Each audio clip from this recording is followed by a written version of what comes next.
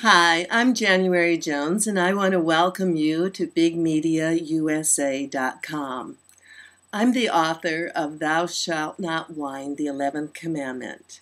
I'm hosting my radio show today, and the topic is Thou Shalt Not Whine About the Cost of Gas, featuring the Honda Hydrogen Cure for Whining.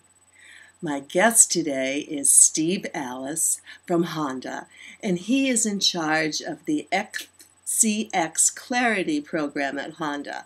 Now, they have created a car, a hydrogen car with zero emissions. Yes, you heard me right, zero emissions.